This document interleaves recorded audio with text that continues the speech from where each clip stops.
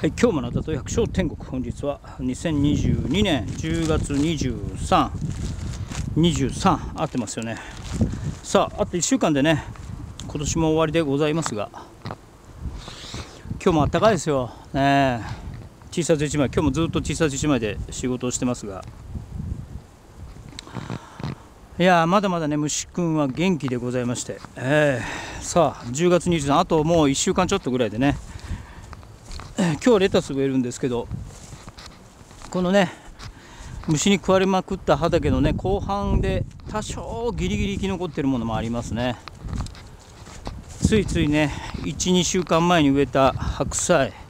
これが最後のブロッコリーですね。ブロッコリーちょっと出せるかもしれないですね。まだこうやってちょっと食われてますけど。あとターサイですね。ターサイがまだ多分大丈夫。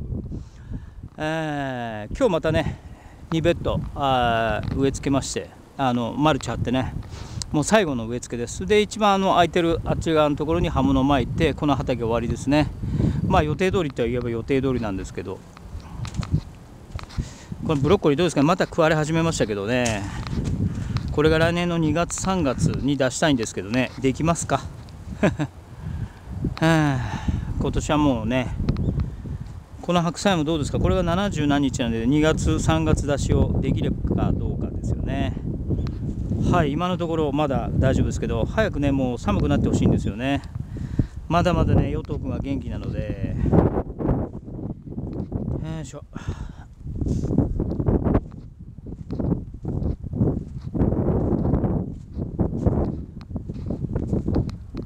この正面にあるのがねここの畑のここが1単もないかな。7世8世ぐらい。ここが来年のじゃがいもの予定地ですね。はい。まあじゃがいも来年もまたあのどうですかね100キロぐらい。あんまりもう作らないようにねしようかなって感じなんですけど。さあレタス植えましょう。ね。これがもういよいよ一番手というかねスタートですね。まだバンバンこれからね植えていかなきゃいけないので。えー、大変でございますよ。今年のね。これは一体何だったっけ？ね何か忘れましたが多分全部虫に食われた場所にもう一回ねそのマルチをそのまま利用してやるのであんまり出来は良くないとは思いますがそれでもねまああのゆっくりせ上上やんといかんちゅう話でね。よいしょ。よいしょ。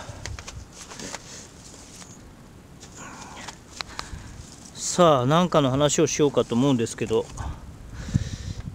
あのネットで見ましたけどラジオでもねちょっと喋ったんですけど 3D プリンター、ね、で家を建てるっていうあれで24時間で家ができるよと。500万値段は500万ですよと、ね、どう思われます皆さん？ねえ。どうすか？まああのそのねそのそれを始めた日本の会社ですけどそれを始められた方が言ってられましたがまあ日本の家は高すぎると。ねそれはまあ皆さん持ってることですよね。うん。あの誰だって皆さんそう思ってると思うんですけどまあ一つのねこれはそのその何て言う今まで日本の戦後ね豊かさの象徴っていうかね支えた一つの何かなんだと思うんですよね。その一つはその会社とりあえず会社に行ってればとりあえず給料は上がってきた上がるし会社にねちょっと言葉は悪いですけどしがみついてさえいれば頑張って入れさえすれば給料は上がるしそれでねなんとかこう幸せな人生をあの描けるというかね一人前の例えば僕は男ですけど一人前の男としてねとりあえず会社に頑張っていればまあ人生はなんとかなるんだっていう一つのそのまあそれはまあ実際そうだったと思いますしね。あのそれがいけないことだったら僕も全然思わないしそれによってこうやって豊かになったわけで全然素晴らしいと思うんですけど一つのなんかどちらかというとねあの僕から見ると一つのその信仰に近いというかねそのうん、なんかそんなように思う部分もなきにしもですけどもそれがもう一つはね会社とそして家だと思うんですよね、うん、一軒家を建てるというね。まあ男の解消というかなんかそんなようなねことが多分あったんでしょうねというふうには思うわけですけどそれがねもうこうここまで来てですよ。あのもうね賃貸なのか持ち家なのかっていう議論も含めてねこれだけこう空き家が増えてきてという時代に家というものが何なのかということはね一度やっぱり再考した方がいいと思うんですよね。で僕はあのもういつも言ってますけど農業をねずっと日本の田舎で20年やってきてあの農業ほどその何かね家が必要だと思ってらっしゃる方いるかもしれませんけど必要ないです。ね実際僕は専業農家ですけど家はないわけですね。別にアパートでいいわけです。ね、でもちろんあの古い古民家に住まわせてもらったこともありますし家賃払ってね、うん、それでも全然いいわけですしあの別に持ち家である必要は全くないわけです。そのことと農業は関係ないですよ。ね、あの普通はねあのそういうこう農家さんの家っつったらそういうものをイメージされるかもしれませんけど僕のようにね新規就農者であれば通ってきてやあの畑をやれば何らの問題ないわけですねだからある意味そのサラリーマンの方と一緒で会社に出社する。ね。私の場合はだからこうやって畑に出勤してくるわけですね。で出荷場があってあの苗を作るハウスがあってっていうそのそういう拠点のようなものがありさえすればそれで事足りるわけですよね。なので農業やるのにねどうしても田舎があの家が必要かっていうとそうでもないんですよ。ね。というのはまああの僕のようなこういう新規就農者は割とそう思ってて実際にそれでいいわけですよね。それでこうやって成り立っているわけですね。はい。だから家というのは別に畑が借りれることがまず第一であってあの家がね必要かどうか。いやまああのだから賃貸でアパートでいいわけです。結論から言っちゃうとね、うん、なのであの例えば今からままた家を買うとかね。ということは今までもなかったしそして多分これからもないんですよ。ね。なのであの僕は多分家は買わないんですね。逆に言うと家を買ってしまうとこうやってもう移転なんか絶対できないしあのねそれは人それぞれねいろんなやり方があるとあるのでいいとは思うんですけどどうしてもね家というものにこう価値がありすぎるというふうにね特に田舎だとねまあ皆さん本当にね僕はその何十人っていうね単位のお客さんあのお地主さんねとお付き合いしてきましたけどまあね、皆さんね、ご立派な家に住んでられるんですよ。本当にね、びっくりしますよ。まあ、あの、明らかにこれ、だから言うんですよね。何々さん、これお城ですかって言ってて。ねでも本当に、あの、お世辞でもなければ、本当にね、あの、こういったあれですけど、そんなに何千万も売り上げてるようには見えない、普通の農家さんが、ね、あの、ご挨拶がてらねご自宅にちょっと菓子折り持ってご挨拶など行ったりするとねまあびっくりしますよね。外から見るのとまたちょっと違うですよね。中入ったらねあのどどどうなってるんですかこれみたいなね。うん。奥からなんか出てきそうな感じのねすごい家に住んでるっていう。だからこれってねなんかこうねそのいいんですけど必要以上にお金をかけるんだなっていう。うん。であのラジオでも話したんですけど例えばね1000万あるとしますよね。で1000万にを家にかけるのかハウスを建てるのか皆さんだったらどっちですかって話になるわけですよね。でこれはもうとってもシンプルなんですよね。あの負債か資産かっていう話になるわけですよね。で家は負債ですよね。だってお金生まないんですから。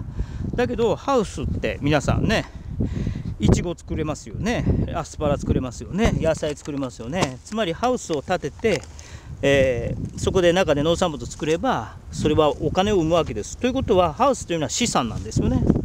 対して家はお金を生んでくれますかっていうことですよね。家は負債ですよね。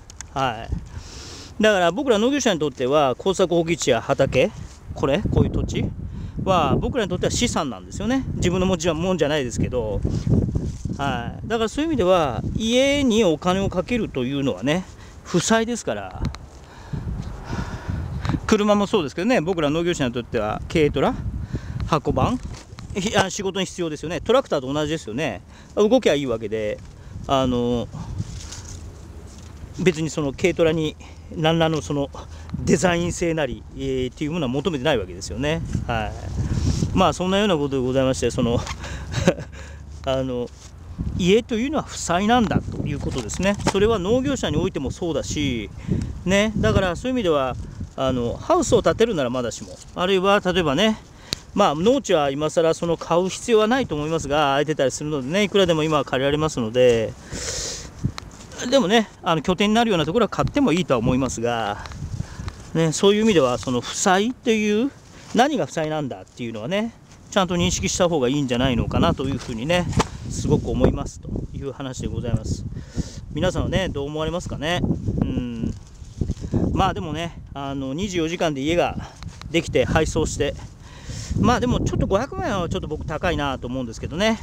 2300万ならねだってあのそこからまたほら電気ってつないだりとかいろいろやっぱりまあプラス100万200万かかると思うのでトータルでやっぱり500万ぐらいに収めれば安いんだろうなっていうふうには思いますけどまあでもねわざわざそんな家にそこまでのお金はねかけなくても。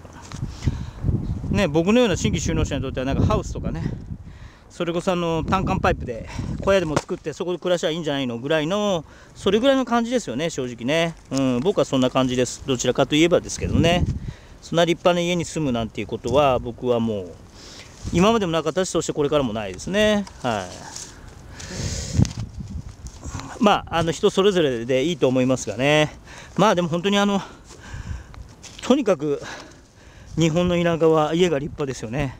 だけど残念なことに言っててあれですけど、ね、そうやってその地主さんとかねものすごく立派にあの例えば2世帯住宅とか建てらっしゃるとは思うんですけどでも結局そのね農業例えばあの息子さんとかがね帰ってきて2世帯住宅はいいとは思うんですけど結局ほら納屋だとかねそういう立派な昔ながらのそういう家とかっていうのは嫌われる傾向にありますもんね。もっと密閉性の高いね 2x 評価なんかがやっぱりいいしね。だからそういう意味ではそういうあの昔ながらのそういうね農家さんの古い古民家とかっていうのは僕らみたいなね農業をやる新規就農者がね買うなり借りるなりするのが本当は一番いいことなんだろうとは思うんですけどなかなかねやっぱりあのよそ者には家がね貸すというのはちょっとハードルが高いですから。はい。まあその中でも僕はあの千葉とかではね古民家借りさせてもらったりねさせていただきましたけどもねありがたいことではありましたが。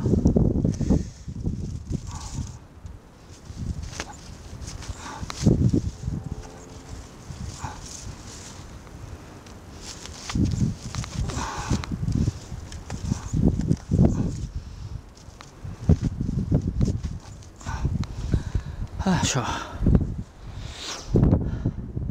結局またほらレタスがすごい食われてるんですよ。ね。これももうちょっと来週出せるかな。向いて向いて。ね。与党が。その隣のあのブロック茎ブロッコリーかなんかもうまた全滅しましたよね。まあ10月の終わりでね。まあ本当にどうしようもないですね。今年は。もう来年だから秋作はできないですよね。まあちょっと畑をねまあ、変えないといけないとは思うんですけど、もう1箇所の方はね、まあ、なんとか生き残ってますので、まあ、正直ね、この畑のポテンシャルですね、はい、それがやっぱりちょっとね、よろしくなかったっていうのは言えると思うんですけど、ここまでね、食われるっていうのは、本当に僕もちょっと理解ができないですね、それぐらいちょっと異常に食われてるので、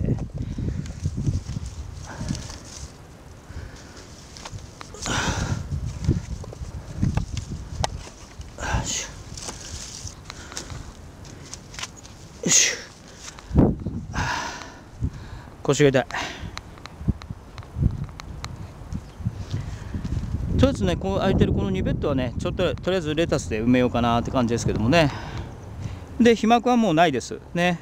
まああの場合によってはあのパオパオ貼ってもいいかなって感じですけどまだこんだけ暖かいのでねしなくてもいいんじゃないのかなって感じですね。ちょっと寒さに当てた方がね出来はいいので。よいしょ。ということでございました。